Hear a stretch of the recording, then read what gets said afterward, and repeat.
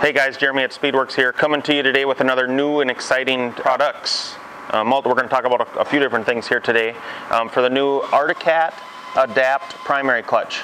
Um, this clutch is coming on all the new 2022 snowmobiles. Not all models, but most of the more popular high performance models. Um, this clutch will be coming on there. And then it's also coming on the new Wildcat Double X. There'll be a whole nother separate video on the stuff for that. But you, you guys that are wondering, yes, we will have this stuff available for the Double X as well. So first thing we're going to talk about is our new adjustable clutch weights. Uh, we got the stock weight right here. This particular one is a 57 gram weight. Um, you can see there's there's some. It's got a bigger pin bushing on it and stuff for some more stability, um, longer lasting stuff there. Um, then we're going to talk about our weights. So we're going to have four new weight part numbers. Uh, we're going to have available in 57, 63, 69 and 75 grams, and you can add up to 10 grams of weight to each one of those parts. So four, four part numbers should cover everybody's wants and needs for this new clutch. Um, and again, like I said, it's adjustable, um, and it's adjustable in, in, two spots. One is you can, you can adjust it uh, installed in the clutch with the threaded hole all the way through.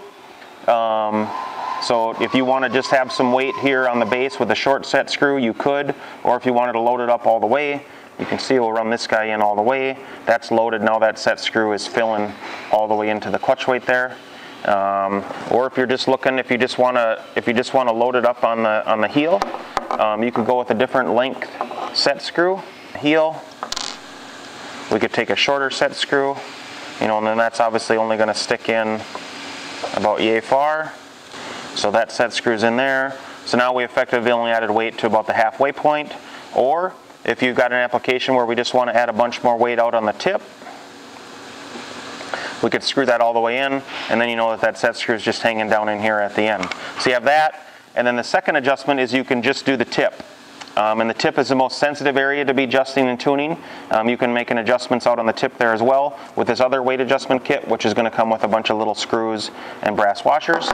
Um, so again, four part numbers, 57, 63, 69, and 75 grams of weight.